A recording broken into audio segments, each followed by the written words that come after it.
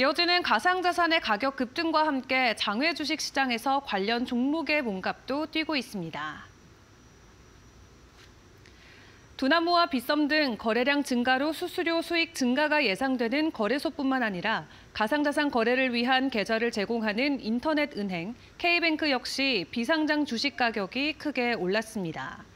지난달까지 6천만 원을 밑돌던 비트코인은 오늘 오전 9,600만 원을 넘어서며 최근 1개월간 50% 가까이 올랐고 이와 동시에 최근 한 달 동안 두나무는 40%, 빗썸은 50% 넘게 상승하며 IPO에 대한 기대감을 높여가고 있습니다.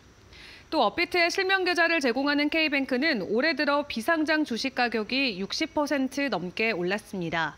이에 금융시장에서는 가상자산 시장의 호황이 지속될 경우 빗썸과 K뱅크의 증시 입성에도 청신호가 켜질 가능성이 있다는 관측도 나오고 있습니다.